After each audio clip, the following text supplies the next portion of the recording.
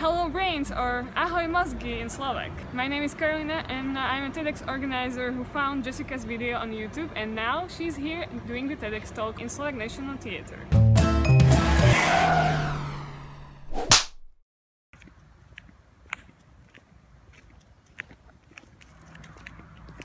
Hello, brains. We're walking the streets of Dusseldorf because my brain has no idea what, time or day it is. We were gonna go out last night in Dusseldorf, but we passed out and slept right through dinner or what would have been dinner. So now we're starving and going, okay, what could we eat? And the first thing that's open is bakeries at six in the morning. So we're going to a bakery.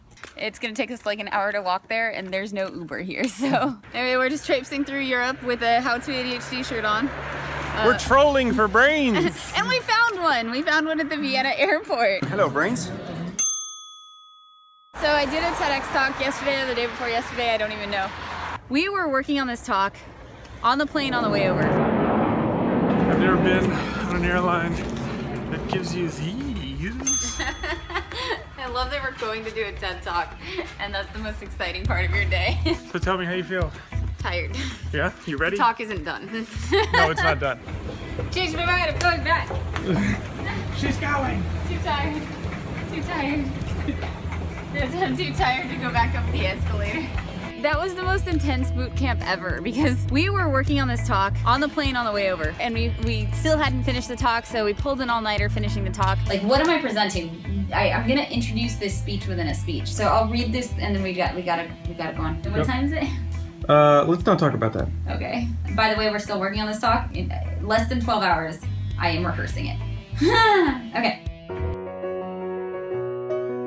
This talk was built by brains and hearts, for brains and hearts. I had so much help from you guys, all of the Facebook comments, the misconceptions that you're running into, and we also had help from the Weiler family. Rory and his mom came on. She said to give Rory a shout out, so I'm giving Rory the shout out. Rory, you, Rory, you've, shout out! you've been shouted out.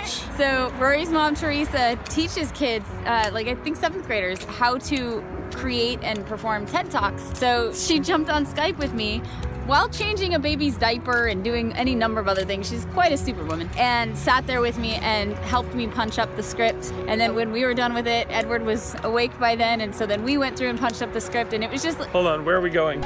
I don't know. Anyway, we had to figure out where we were going because we're also very hungry. So we finished the talk, and and this is like 48 hours before I perform it for the world. Mm-hmm. And Edward has not made a single slide. Like, no, we had an because we again we were waiting until we had the script right to the place where we felt like was right. We felt was reasonable, but Yeah. apparently is not how it was supposed to have gone down. By the way, he made 90 slides on PowerPoint after not having ever done it before. And we submitted it, and everybody was like, no, less, cut it, cut it. But then once we did the rehearsal, they were like, oh, no, no, that's good. What's gonna happen, Jess? I'm gonna practice my TED Talk. So you're gonna walk out onto the TED stage? Yep. Gonna walk out onto the TED stage, TEDx Bratislava. Jessica? Yep. And I'm doing it now. What they don't tell you when you're doing a TED Talk is it's essentially like writing a one act play. It's an important play. It's gonna probably be one of the most important plays you ever write, so you know that going in. The part you don't really think about, or at least I wasn't thinking about, is oh, and then you have to memorize it. Like you have to do all the set design for all the slides and everything, and you've written the play, and you make sure the words are great, and then you're like, oh, we have to account for like a human being Right. you in this case who has to like put all this in their brain and just be able to spit back out the most important play you'll ever write. Yeah.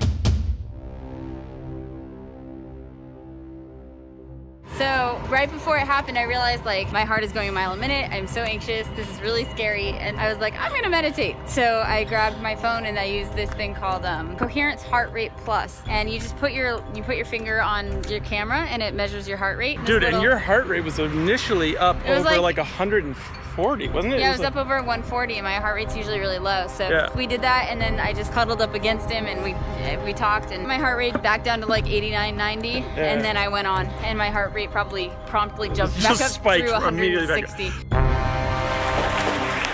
Hello, brains.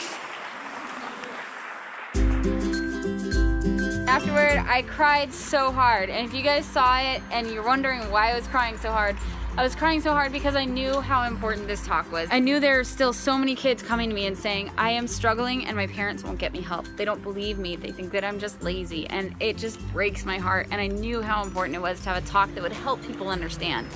It's one thing to say it, it's another thing for people to hear it. And so when I knew that they heard it, I, I just broke down it was so important to me that that, that message came through and, and knowing that it did meant the world to me. And I had several people come up to me afterward and tell me that it made them think differently about their own situation. I didn't know about their ADHD? Their own situation or their kids. So it made a difference. You guys made a difference.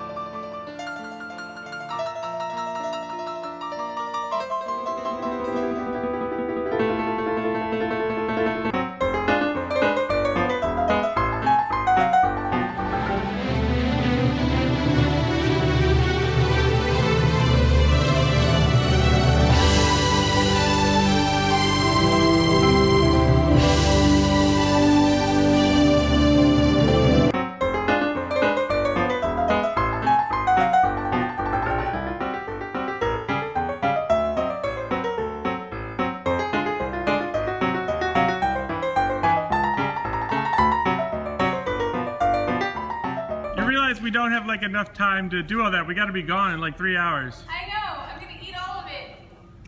That, oh, that doesn't sound like a good idea.